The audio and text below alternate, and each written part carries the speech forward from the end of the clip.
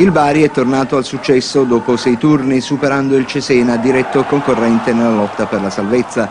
Legittima la vittoria della squadra barese che dopo un quarto d'ora di rodaggio ha cominciato a macinare gioco mettendo in difficoltà il dispositivo difensivo avversario. Al diciassettesimo il Bari con Di Gennaro, tornato in campo dopo due settimane di assenza per infortunio, ha insidiato Rossi.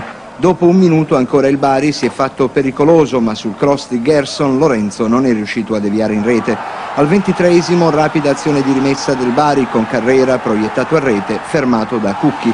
Per l'arbitro Stafoggia il fallo è avvenuto al limite dell'aria.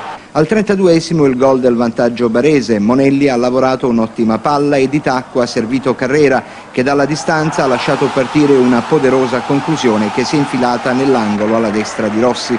Nella ripresa il Cesena, che nei primi 45 minuti non si è visto in zona tiro, ha confezionato una buona opportunità con Pierleoni. Mannini ha neutralizzato in angolo. Sugli sviluppi dell'angolo Jozic stava per battere a colpo sicuro, ma un difensore del Bari ha allontanato. Dopo il pericolo corso il Bari si è riportato in avanti con Joao Paolo che dopo una fuga solitaria ha calciato su Rossi in uscita. Al tredicesimo poi il Bari ha archiviato la gara con un gol stupendo di Pietro Maiellaro che dopo aver evitato tre avversari di forza ha battuto Rossi. Il Cesena non si è demoralizzato e dal ventitreesimo prima Djukic poi Jozic hanno trovato sulla loro strada Mannini.